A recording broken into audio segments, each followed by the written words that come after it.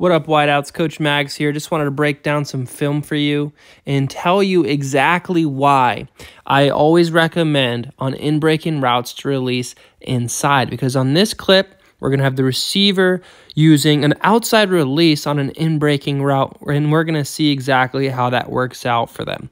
Um, now, before we get into it, though, if you appreciate my videos, if they help you out, I would really appreciate it if you could give me a like, comment, follow, subscribe, whatever it is. It means the world to me. All right, without further ado, let's get into it. So, check this out. We're running a dig with an outside release. And right here, the DB has a chance to pick the ball off. Now, why don't I like this? I don't like this because if you go up against a good DB, not even just that, any DB, all right, you release outside, they're going to get into this position all right, where their chest is faced towards the sideline. And a really good DB is actually going to start to try to squeeze you all the way towards the sideline, all right? Which this DB isn't necessarily squeezing.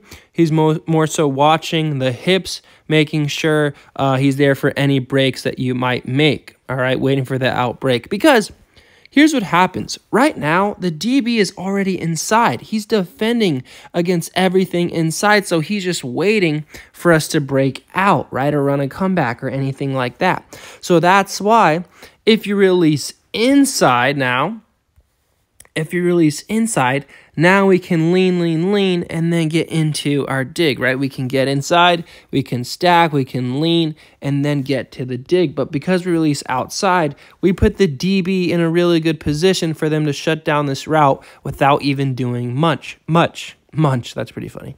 Uh, but yeah, make sure you release inside. And that doesn't mean, like I said, that doesn't mean that you can't release outside. It's just that's why I prefer you release inside because it'll make your job easier and it will make the DB's job harder.